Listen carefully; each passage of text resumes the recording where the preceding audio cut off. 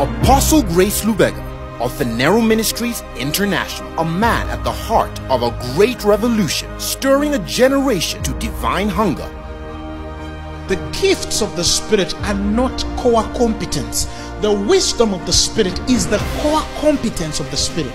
The maturity of the Spirit is the core competence of the Spirit. Experiencing the Word and the manifestation of eternal truth.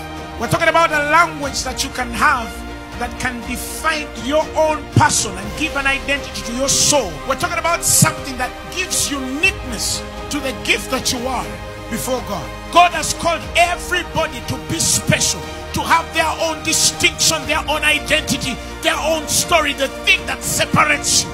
Bringing to you Phaneroo Make Manifest with Apostle Grace Lubega on God TV Worldwide Network every Wednesday, 12:30 to 1 p.m.